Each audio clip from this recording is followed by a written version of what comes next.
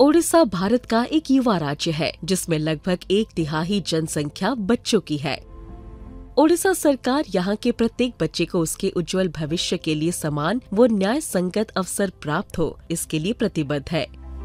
Sustainable development goals यानी सतत विकास का लक्ष्य, आज एक वैश्विक प्रयास है, जिसका मूल आधार 2030 तक दुनिया में सामाजिक, आर्थिक और पर्यावरणीय पहलुओं में सामंजस्य स्थापित कर एक बेहतर विश्व बनाना है। कोई पीछे ना छूटे की भावना को केंद्र में रखकर ऐसे प्रयास करने की आवश्यकता है जो एक बेहतर भविष्य की परिकल्पना को साकार कर सके। इस विचारधारा को आगे बढ़ाते हुए ओडिशा ने तय किया है कि वैश्विक स्तर पर हो रहे इस सामूहिक प्रयास को सफल बनाने में अपना पूर्ण योगदान प्रदान कर पंचायत स्तर पर सतत विकास लक्ष्य को प्राप्त करने में अपना पूरा सहयोग प्रदान कर सके।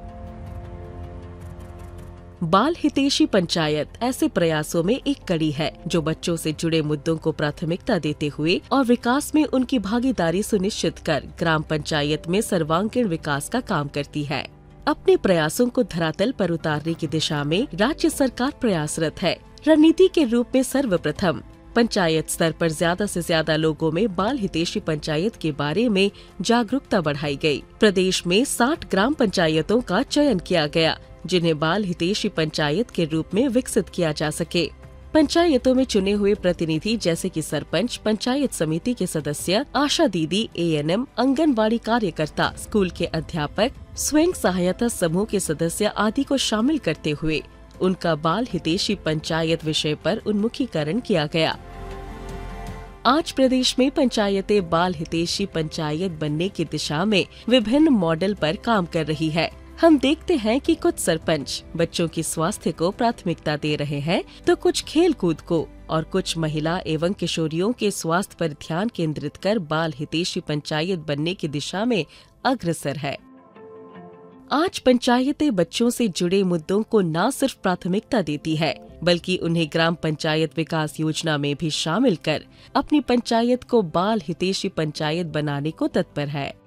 ओडिशा सरकार का ध्यान हमेशा से बच्चों से जुड़े मुद्दों, वो उनके हितों पर रहा है। प्रत्येक बच्चे को पूर्ण अधिकार प्राप्त हो, इसके लिए हम एक ऐसे इकोसिस्टम तैयार करना चाहते हैं, जिसमें प्रत्येक व्यक्ति न कि बाल बच्चों के प्रति उनके कर्तव्यों को समझे वो उन्हें सम्मान दे बल्कि उन कर्तव्यों का पालन भी करे ମୋ ପଞ୍ଚାୟତରେ ମୁଁ ଯେତିକି ଜାଣିଛି ଯେ ଛୋଟ ପିଲା ହସିଲେ ସାରା ଦୁନିଆ ହସିବ ଆମେ ପଞ୍ଚାୟତବାସୀ ଏକ ହୋଇ ଏବଂ ଆମର ଆଶା ଅଙ୍ଗନବାଡ଼ି ଆମେ ସମସ୍ତେ ଏକ ହୋଇ ଏହି କାମକୁ ଆଗେଇ ନେବା ପାଇଁ ଏକବଦ୍ଧ ହେଲୁ ଆମ ସରପଞ୍ଚ ମ୍ୟାଡ଼ାମ ବାଳିକାମାନଙ୍କର ବହୁତ ସାରା ଉନ୍ନତି କରିଛନ୍ତି ସେମାନଙ୍କର ସର୍ବାଙ୍ଗୀନ ଉନ୍ନତି ପାଇଁ ମଧ୍ୟ ଚେଷ୍ଟା କରିଛନ୍ତି